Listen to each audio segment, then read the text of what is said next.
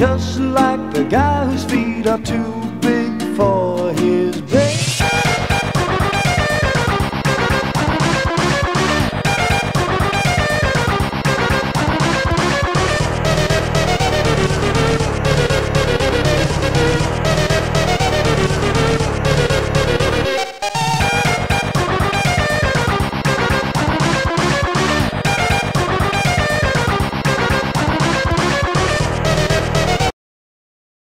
On a lonely planet slowly spinning its way to damnation, amid the incompetence and unpreparedness of lesser space programs, one team stands resilient against the herds, putting their lives on the line to aid those who are previously unaware of the quick save option.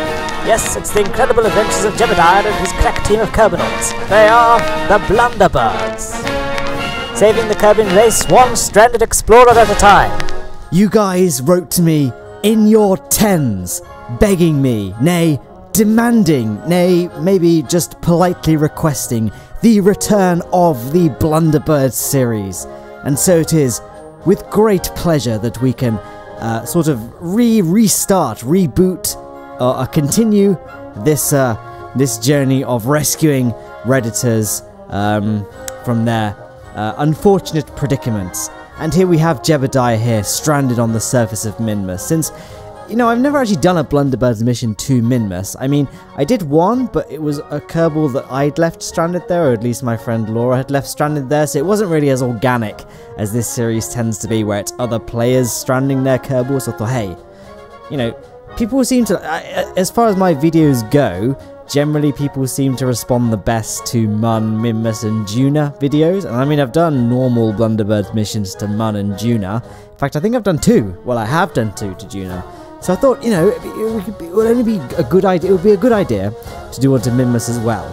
And so here is the craft we're going to be using. It is a prototype SST I've been working on. I was essentially just playing around with various kind of shapes and things to try and come up with a design that looks pretty. It looks good, basically. I, I went, I prioritized aesthetics. So, you know, as I said, this is very much still within the prototype stage. So it's not too kind of. It doesn't really have that much range, at least it doesn't have the kind of range I wanted to have by the time I finished fine-tuning it, and it has a few performance issues that will, uh, you know, become apparent as this video goes along, but I think overall it's a pretty good starting point. In fact, it's rather reminiscent aesthetically uh, to Blunderbird. Oh god, I'm on the spot now. I think it was Blunderbird 4. It's the one where I rescued Mark Thrim's Kerbals from Ceti, which is the equivalent of Minmus in Galileo's Planet Pack. So in a way, this is kind of like a nice cyclical design to go with. I mean, Ceti, it's like in Galileo's Planet Pack. Oh, this is again stretching now. It's almost like seven months ago, is it? I don't even know. It was a long time ago though. Um, so Gael, so rather than Kerbin, you have a planet called Gael, and that has two satellites around it. I think one is called Ceti. It's about as far out as Minmus, or no, I don't know. It's one of the two satellites. I don't really know what I'm talking about here. It's a it's a satellite that orbits the equivalent of Kerbin and Galileo's Planet Pack. So there was the good. That, that, that's that, that's that. So um, yeah, maybe I should talk about the flight plan for a second. We are fairly far into the flight plan at this point, but it essentially boils down to accelerating to about 440 meters per second at sea level, and then beginning to ascend. Well, we were ascending gradually, but remaining relatively flat until we reached 440 meters per second. At which point the rapiers you know, kind of get a little kick of speed once they've passed that speed threshold and broken through that sort of barrier. And then we can begin to rapidly accelerate all the way to about 200 kilometers above the surface, at which point we can activate the nuclear engines to help push us along because the rapiers will start to be dropping off at that point. And then we can fire up a little bit of oxidizer just to give us a small kick to get us on the way into orbit. Although, to be honest, this would probably work without any oxidizer whatsoever, given my um, in retrospect, I probably could have done this without any oxidizer whatsoever. I mean, we only had 220 units of it anyway, which is not a particularly significant amount, at least not uh, significant in regard to the actual amount of liquid fuel and overall ratios of this thing, but yeah, whatever. So, we have a fair amount of Delta V in orbit, um, just over 2,000 meters per second, so easily enough to do uh, Minmus. My ultimate goal for this craft is to make it Duna capable, that was the original plan for the SST I sent to Ceti in the uh, Blunderbirds episode four. Was that? I think we went before, didn't we? That was the original plan for that to get it to go to Duna, but it just couldn't because it only had two nuclear engines, which is just not enough in terms of a uh, mass to um, a thrust to weight ratio. I don't know what I was trying to say with mass, but in terms of a thrust to weight ratio, two nuclear engines does not cut it for Duna. Uh, four tends to be a good standard to go for. I mean, you can get away with three depending on your uh, craft's mass and things like that, but four is generally a pretty safe amount to go with. Again, mileage varies depending on the craft, but I thought 4 is a good one to go with, so that's why this thing has 4 nuclear engines when, when we're talking about Minmus. This is very much overkill for what we need it to do, but bear in mind this is a prototype for what will eventually hopefully be a Duna SSTO. So that's kind of why I've got 4 nuclear engines there, but as I say, it needs a lot of fine tuning in order before, we, before we're able to get the Delta V required to do a Duna landing. I'd like to get at least just for kind of the safety net of being able to make the mission definitely, definitely possible, I'd like to get at least kind of 2,000 more meters per second of Delta V out of this, which seems like a tall order, I guess, now I say it out loud, but I think with a little bit of more efficient flying, because the ascent of this craft wasn't the best, I did almost lose control at one point and flip out on to my, like, flip out and go start going backwards, but luckily I managed to fight back some control. But uh, no, I think we should be able to do it. I think I think it's definitely possible. It won't take too long.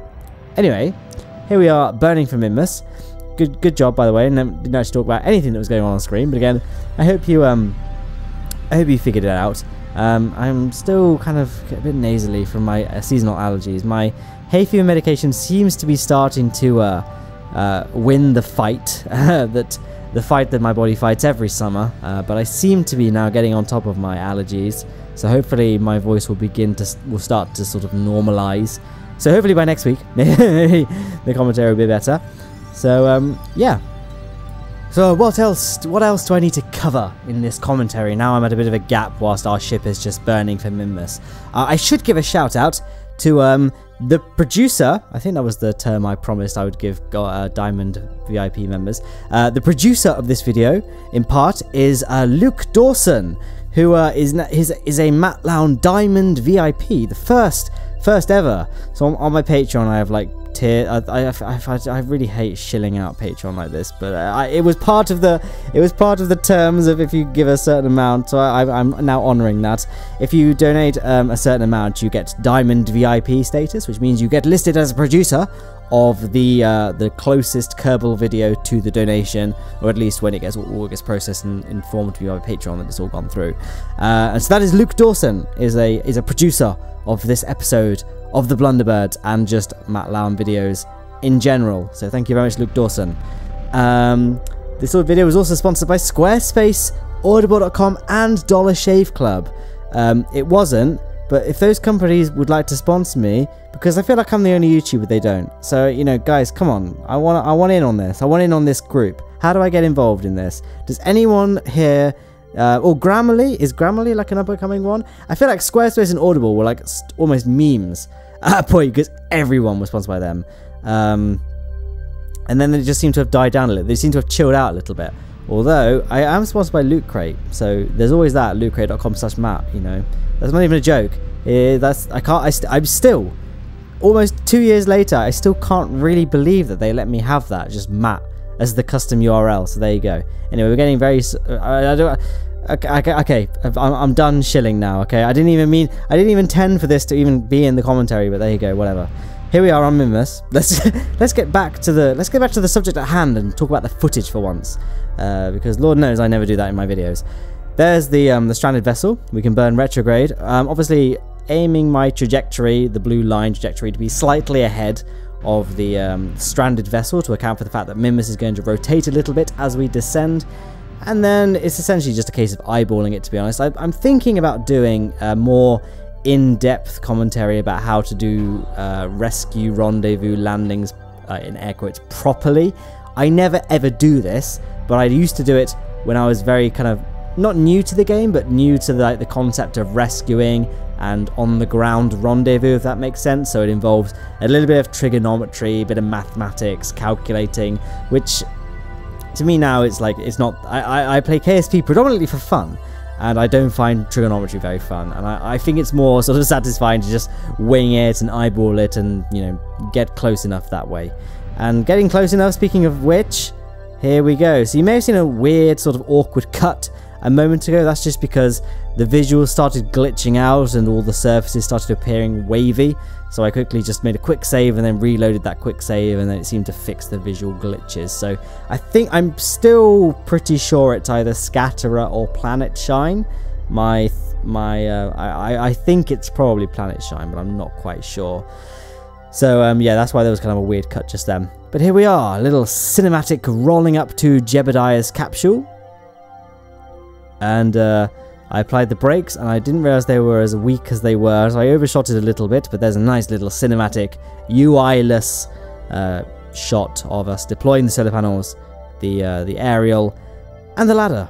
And with, with that, Valentina can disembark the vessel and go and check on Jeb. So we have a full crew in that space plane just in case Jebediah, uh, you know, needs a little bit of extra help. So we got a whole full medical team in there just in case there was a very localized Ebola outbreak on Minmus. We could, you know, help Jeb out there, and then we can get him back on the ship on his way to Kerbin. But of course, we need to plant the obligatory Blunderbird's flag at this point. Although I'm going to leave. Um, Reddit user uh, Squishy Banana 75s totally didn't pause the commentary to check what that username was. I'm going to leave their flag very much intact because people did complain that I was taking down their flags in these videos, which I didn't mean to cause offense or like hurt anyone. I was just, I don't know why I did it. I just thought it was funny, maybe. But you know, a lesson learned. I've I've acknowledged the criticisms and feedback. We're going to leave the flags up from now on and there's a nice little cinematic shot once again. But we haven't got a moment to waste. Jebediah is very hungry. He's been stranded on Minmus for a long time now, and he needs to get home, so we need to just get there. And we are faced with a slight logistical uh, issue of us facing the side of a mountain, so we need to uh, do quite an aggressive pitch up just make sure we clear that top ridge. But, um, you know, spoiler alert, we, we made it. It was fine. Um, very close though. Very close. Let's just uh, wait for it. There we go. And just cleared the edge. So there we go. And then it's just a simple case of circularizing at our apoapsis. In fact, I believe, if memory serves me correctly, I did do this mission. Well, I was about to say, I did this mission before I did this commentary, but I think that's obvious. This isn't a live commentary. I mean, it was a while ago when I flew this mission. Like, it was yesterday.